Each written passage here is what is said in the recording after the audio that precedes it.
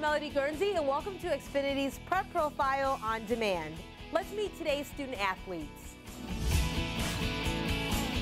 Hi, I'm Stephanie Dolehide, and I'm 5'9", and I play tennis at Hinsdale Central High School, and I'm a sophomore. Hi, my name is Sandra Keta. I'm 5'5". I'm a senior, and I play tennis at Hinsdale Central High School.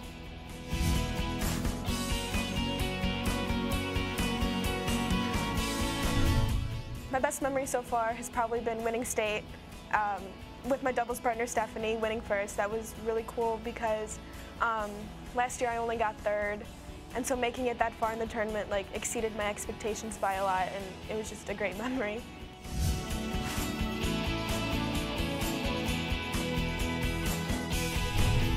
I started playing sports when I was six, and I started tennis when I was seven, and then I, but I really started competitive tennis when I was 10 or 11.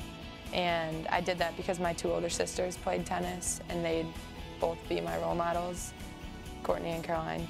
To view this exclusive Xfinity TV programming in its entirety, check the CN100 schedule for a list of airtimes, or view this program anytime on demand by selecting Get Local and choosing CN100.